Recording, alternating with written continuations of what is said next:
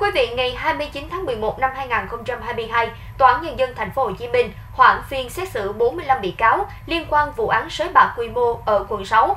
Trong số này, bị cáo Nguyễn Minh Thành có tên gọi khác là Co, 44 tuổi, ngụ quận 6 và 23 bị cáo bị xét xử về tội tổ chức đánh bạc. Bị cáo Lê Văn Khấn, 36 tuổi, ngụ Đồng Nai, tội tổ chức đánh bạc và đánh bạc. Ngoài ra, 20 bị cáo cùng về tội đánh bạc. Lý do hoãn phiên tòa do hội đồng xét xử cần triệu tập thêm người có quyền lợi, nghĩa vụ liên quan. Dự kiến phiên xét xử sẽ mở lại trong tháng 12 năm 2022.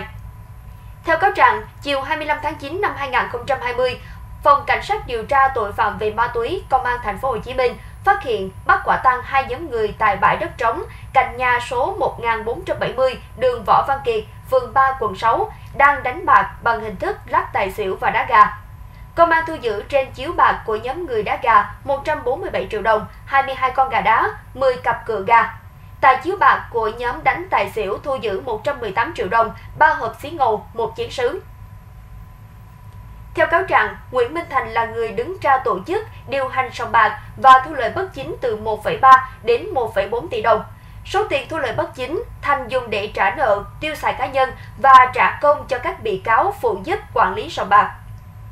Nguyễn Minh Thành thuê các bị cáo khác với tiền công từ 200.000 đến 2 triệu đồng để làm biện gà, nhận tiền đặt cược đá gà, thu và quản lý tiền sâu, phát băng keo, cân gà, dọn dẹp trường gà, làm trọng tài và chở các con bạc từ các bãi xe trên đường Chu Văn An, Mai Xuân Thượng thuộc quận 6 đến sòng bạc. Mỗi tuần, Nguyễn Minh Thành tổ chức chơi bạc từ 5 đến 6 ngày, mỗi ngày hoạt động từ 12 đến 16 giờ với khoảng 80 đến 150 con bạc tham gia. Mỗi ngày, Thành tổ chức 5 đến 10 trận đá gà và thu tiền sâu khoảng 28 đến 80 triệu đồng. Đối với hình thức lắc tài xỉu ăn tiền, Thành thu tiền sâu mỗi ngày từ 2 đến 18 triệu đồng. Liên quan đến vụ án này, ngày 29 tháng 4 năm 2021, cơ quan cảnh sát điều tra đã ra quyết định truy nã đối với Trần Văn Nghĩa. Khi nào truy bắt được sẽ xử lý theo quy định. Cùng theo cáo trạng, đối với một số cán bộ công an hiện công tác tại Cục Cảnh sát hình sự Bộ Công an, Phòng Cảnh sát hình sự Công an thành phố Hồ Chí Minh, Đội Cảnh sát hình sự Công an quận 6, Công an các phường 1, 2, 3 thuộc quận 6 thành phố Hồ Chí Minh.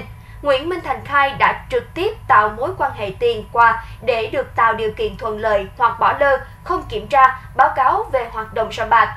Nhưng do chỉ có lời khai của Thành và cơ quan điều tra chưa thu thập thêm được tài liệu, chứng cứ nào khác, nên cơ quan điều tra đang tiếp tục xác minh làm rõ, nếu có cơ sở sẽ xử lý sau. Kính mời quý vị truy cập vào báo Thanh niên theo địa chỉ thanh niên.vn để theo dõi những thông tin liên quan và cập nhật những tin tức mới nhất. Quý vị cũng đừng quên bấm like, đăng ký theo dõi và ấn vào nút chuông để theo dõi sớm nhất những tin tức trên kênh youtube Báo Thanh niên.